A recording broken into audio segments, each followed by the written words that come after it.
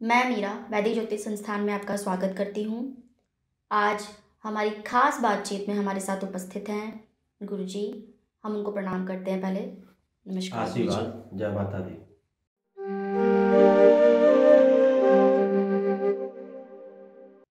गुरुजी व्यापार लोगों का आजकल ठीक नहीं चल रहा है। बहुत सारी समस्याएँ आ रही हैं। तो इस पर ज्योतिष क्या कहता है?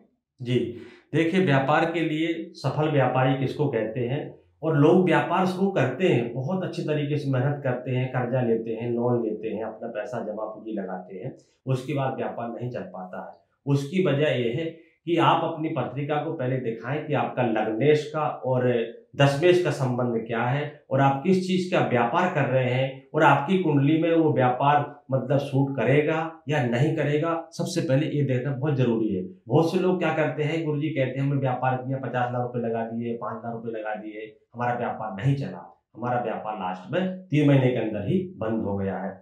तो लेकिन किसी का यदि लोहे का करने का योग है, कुंडली के अनुसार या नाम के अनुसार, उसने जो है व्यापार कर लिया है, पानी का या कह सकते हैं किसी मतलब ठेकेदारी का तो इसमें उसको नुकसान हो जाएगा। तो जिसके के, कौन सा व्यापार किसको क्या करना है, ये कुंडली के अकॉर्डिंग पूरा जस्टिफाई करके, फिर जिस ग्रह आपके अकॉर्डिंग जो ग्रह आपको व्यापार में सफल व्यापारी बनाएगा, लाभ देगा और आपका व्यापार चलेगा, उसके हिसाब से व्यापार करना चाहिए।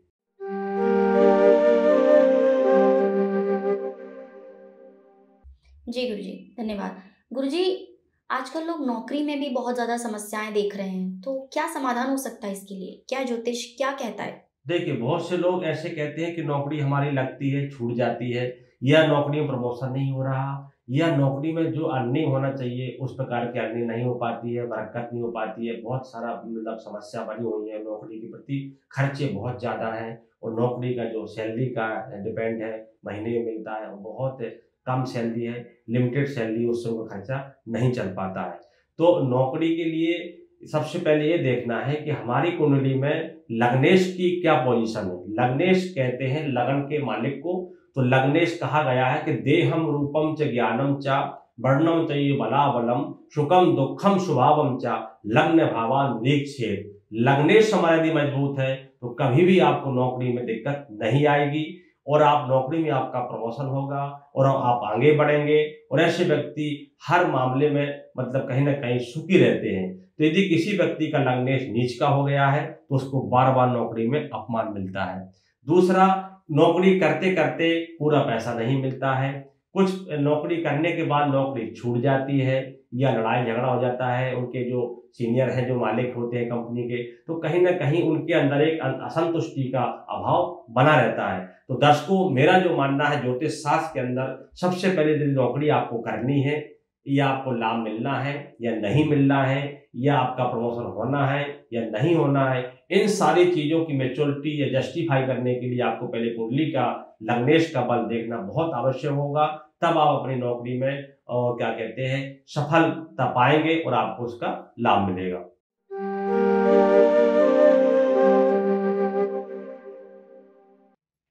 गुरुजी आजकल लोगों को संतान प्राप्ति में बहुत ज़्यादा प्रॉब्लम्स आ रही हैं तो उसके लिए ज्योतिष में क्या समाधान है, आप दर्शकों को बताइए। देखिए, संतान का सीधा सीधा है कि संतान के बाद से संतान से लोग परेशान भी है वो संतान के लिए बहुत सारी दवा कराते हैं, डॉक्टरों के पास जाते हैं, पूरा घूम लेते हैं, बहुत सी चीज़ें, फिर भी उनकी रिपोर्ट में कुछ नहीं आता है वो संतान नहीं होती है। तो संतान के लिए हमारी कुंडली के अनुसार पितृ दोष का भी प्रभाव होता है और जो संतान विलम्ब से होती है और कुछ संतान मिसकरेज हो जाती है। सबसे बड़ी बात यह है कि संतान तो होती है, पर वो मिसकरेज हो जाती है। जैसे कि सौ महीना, डेढ़ महीना, दो महीना या मैक्सिमम ढाई महीने का जो एक शेड्यूल होता है, उसमें संतान तो आती पर मिसकरेज हो जाती है। तो उसके लिए हमें अपनी पत्रिका यानी कुंडली के माध्यम से देखना होगा कि हमारी संतान हम मिसकरेज हो रही है या संतान क्यों नहीं हो रही है? यह संतान विलंब से क्यों हो रही है? डॉक्टरी इलाज आपने करा लिया है, फिर भी आपका उसका लाभ नहीं मिल रहा तो शास्त्र कहते हैं कि दवा और दुआ साथ चलती है। तो कुंडली में लगन में यदि राहु बैठा है तो आपकी संतान मिसकैरेज होगी। यदि लगन में शनि बैठा है तो आपकी संतान लेट होगी। पंचम में यदि राहु बैठा है तो भी आपकी संतान मिसकैरेज हो जाती है।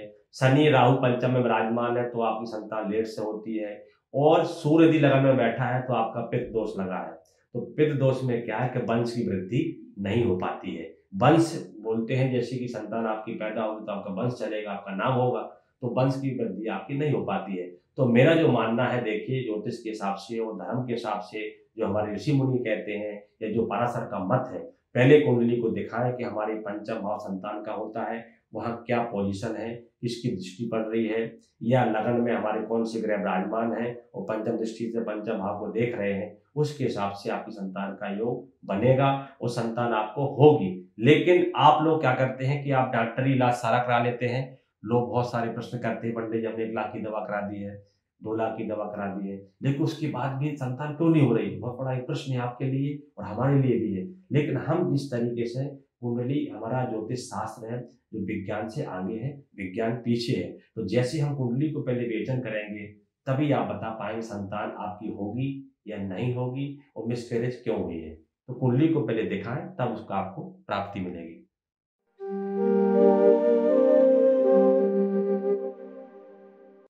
गुरुजी, दर्शकों से एक बहुत ज़्यादा सवाल हमारा आता है कि उनकी शादी में विलम्ब हो रहा है, शादी उनकी नहीं हो पा रही है, उसके लिए ज्योतिष क्या बोलेगा? देखिए, शादी समय से होना बहुत आवश्यक है। आपने बहुत अच्छा प्रश्न किया और हर किसी की ख्वाहिश रहती है कि हमारी शादी कब होगी। और शादी के बाद ज़ाहिर सी बात है कि भाग्योदय होता है। सोलह संस्कार जो हमारे होते हैं, उसमें शादी एक जन्म और नामकरण और शादी का बहुत बड़ा विशेष कहा गया है। और जनेऊ संस्कार भी होता है सोलह संस्कार होते हैं। तो शादी लोगों की विलम्ब से क्यों हो रही है, ये इस बहुत गहराई से ध्यान देना, दर्शकों आप समझना और सबको बताना। शादी का एक दो ही कारण होता है। या तो कोई जातक या जाति का यानी लड़की या लड़की, ऐसे बोल सकते हैं आप समझ नहीं पाएँगे।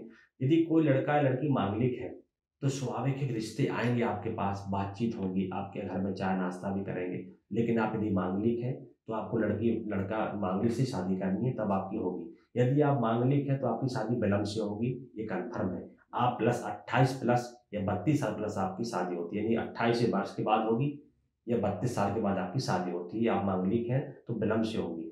सबसे बड़ी बात इसमें है कि यदि शादी आपको करनी है तो आप मांगलिक हैं तो मांगलिक शादी करेंगे, तब आपका रिश्ता चलेगा और आपको लाभ होगा।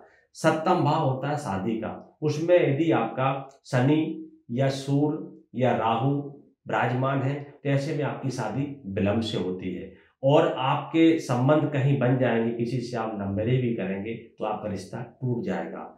प्रथाजनक ग्रह होते हैं सूर्य शनि और मंगल भी होते हैं, राहु भी होता है। तो ऐसे में क्या है कि शादी विलम्ब से होती है और यदि धोखे से आपने शादी कहीं कर भी ली लव मैरिज करी तो आपकी शादी वो टूट जाती है, जिससे लोग असंतुष्ट रहते हैं। तो पहले शादी का लिए आप कुंडली का वेचन करवाएँ कि हमारी पत्रिका में मंगल की, शनि की, राहु की सूर्य की क्या स्थिति है और हमारे सप्तम भाव शादी का होता है, साझेदारी का होता है, एक व्यापार, एक पार्टनर का होता है तो पार्टनर पति पत्नी भी आते हैं। तो उसके अकॉर्डिंग आप बता पाएँगे या जान पाएँगे कि गुरु जी हमारी शादी विलम्ब से क्यों हो रही है? यदि शादी में जल्दीबाजी करते हैं आप तो दिक्कत है।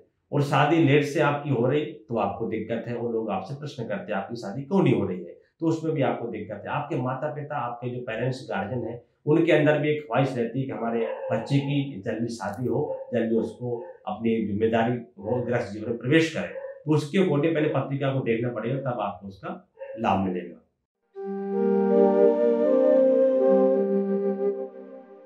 गुरुजी धन प्राप्ति आज का एक बहुत बड़ा समस्या बनी हुई है लोगों को। आजकल फाइनेंशियल प्रॉब्लम्स बहुत ज़्यादा आ रही है। तो इस पर आपका क्या विचार है? देखिए धन के बिना कुछ नहीं हो सकता है और धन यदि आपके पास है या धन का अर्निंग आपके पास डेली या महीने में आ रहा तो आप अजीब का से लेकर आप गृह जीवन में अच्छी तरह भरण पोषण कर सकेंगे। यदि धन आपके पास नहीं आ रहा या धन की कमी है तो कहीं ना कहीं आप बहुत ज़्यादा उदास हो जाते हैं और आपकी जो कामना है, जो आपकी आकांक्षा है, वो सारी कहीं ना कहीं रखी रह जाती है, इससे आप डिस्टर्ब रहते हैं। धन प्राप्ति का योग, यानी महालक्ष्मी योग कैसे आपकी पत्रिका बनता है और धन आप कैसे कमाएँगे, उसके लिए मैं अचूक उपाय आपको बताता हूँ। देखिए, यदि बार बार आप पैसे कमा रहे हैं, आपके पास नहीं ठहर रहा, खर्च हो जा रहा, धन नहीं आ रहा है और आप बहुत उदास हैं, आपकी रोज़मर्रा ज़िंदगी में आप जो खान पान से लेकर सारी चीज़ें खरीदते हैं, उसके लिए आप बहुत ज़्यादा चिंतित रहते हैं क्योंकि आपके पास पैसा नहीं है। तो लक्ष्मी प्राप्ति के लिए आपको देखना पड़ेगा कि धन कैसे आपके पास आएगा। यदि आपका पूर्ण रूप से देखते हैं तो एक दस भाव का संबंध क्या है? द्वितीय यदि आपका नीच का हो गया है, भाव कुंडली के अनुसार देखते, विवेचन करते हैं। एकादशेश आपकी पोजीशन क्या है और धन आपको कैसे प्राप्त होगा, उसके हिसाब से कुंडली का पहले आप विवेचन करवाएँ। दिखवाएँ कि आपका धन कैसे प्राप्त होगा और धन कैसे आपके पास ठहराव होगा। धन तो आपके पास आता है, पर ठहरते नहीं है, वो कैसे ठहरेगा? दूसरा, लक्ष्मी का एक प्रयोग बताता हूँ मैं आपको, धन की प्राप्ति के लिए। कि आपको क्या करना है कि लक्ष्मी का आप जाप भी कर सकते हैं, किसी वैदिक ब्राह्मण से करा सकते हो, उससे आपको लाभ मिलेगा। वैदिक मंत्र ये है, ओम श्रीम ह्रीम श्रीम कमले कमलालय प्रसिद प्रसिद श्रीम ह्रीम श्रीम ओम महालक्ष्मी नमः। इस मंत्र का आप कमल गट्टे की माला लेकर जाप कर सकते हैं, इससे आपको लक्ष्मी की प्राप्ति होती, होगी। और यदि आप नहीं कर पाते तो वैद्य ब्राह्मण के द्वारा आप कराएँ, पंडित जी से, वैदिक आचारों से तो भी इसका आपको लाभ मिलेगा। और धन के लिए आपको क्या करना है कि आप और एक घर के लिए घरेलू उपाय भी कर सकते हैं।